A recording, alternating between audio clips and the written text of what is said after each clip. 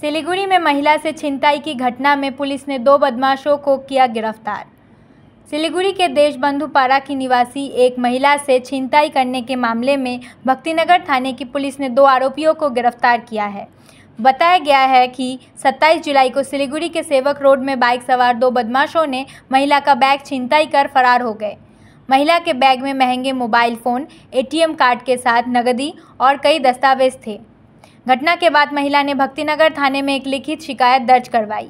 शिकायत के आधार पर जाँच में जुटी पुलिस ने सीसीटीवी फुटेज की मदद से गुरुवार रात को दो आरोपियों को गिरफ़्तार किया।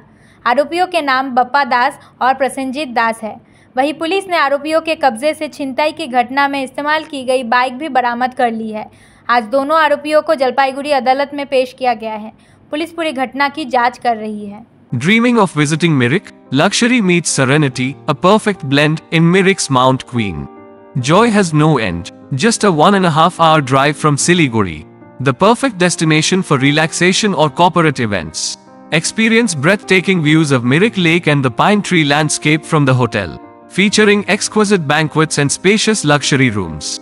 Mount Queen Hill Resort and Spa, your new destination for a luxurious retreat in Mirik. Call to book 800 133 7000.